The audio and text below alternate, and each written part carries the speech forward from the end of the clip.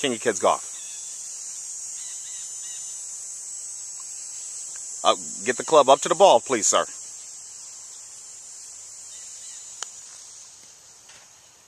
Great move. Great move.